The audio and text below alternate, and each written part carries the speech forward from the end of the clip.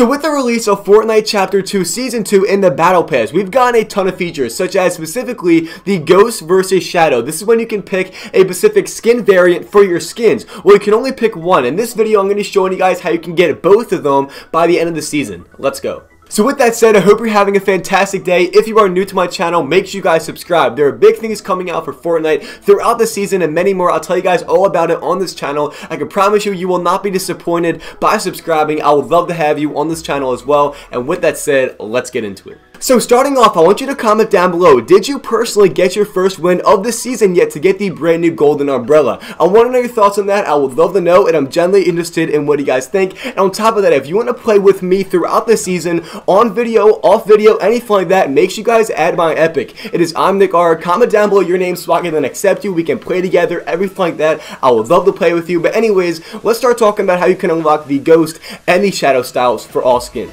So as of right now, you can only get the Ghost or Shadow style for your skin. Well, Killer King Kevin said this perfectly, and I totally agree with him. He said, I have a feeling that the overtime challenges for this season will be the opposite ed style of the Ghost or Shadow type you picked for your skin.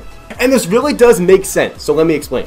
Because Epic Games would not give us one style and not the other one. They're just not that type of company and not that type of game. And on top of that, we've gone in the past, the overtime challenges, they were for variants of the skins. Last season, we had a ton of skin styles for our skins, and those were through overtime challenges. So it would just make sense that this season would be skin styles, aka the other version for the overtime challenges. It just makes sense. So ultimately, that is how you can unlock the other style for your skin. I know sadly you gotta wait till the end of the season though, but at least you know you can unlock it at some way, shape, or form. Anyways, if you made it this far into the video, I want you to comment the word pickle so I know I really appreciate you. Drop a like on this video if you're breathing oxygen, and subscribe to my channel if you are new. You don't want to miss anything coming out on this channel. I can promise you on that. I would love to have you on this channel. Do not do anything stupid. Do good in a game for me. I will see you guys tomorrow with another brand new upload, and I truly cannot wait to see you there. Have a great night. Peace out.